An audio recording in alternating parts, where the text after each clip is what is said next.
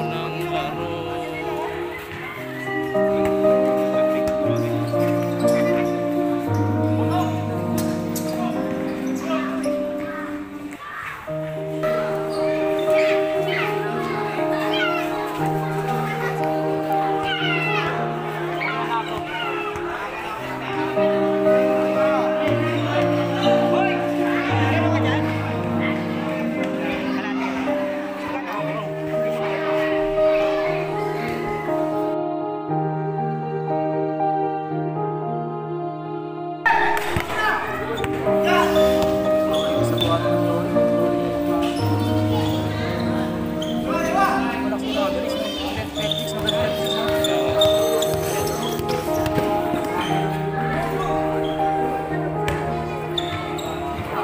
Na barangay yun?